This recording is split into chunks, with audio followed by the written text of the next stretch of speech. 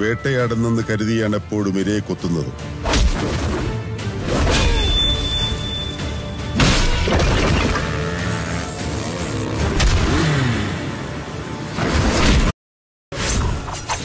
മീൻ വേട്ടയാടുന്നെന്ന് കരുതിയാണ് എപ്പോഴും ഇരയെ കൊത്തുന്നത്.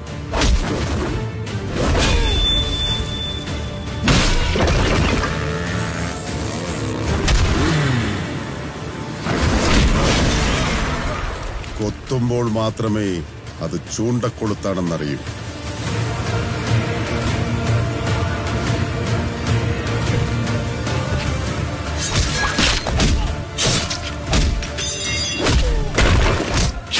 ആ ചൂണ്ട ആരിട്ടതാണെന്ന് നിനക്കറിയാലോ?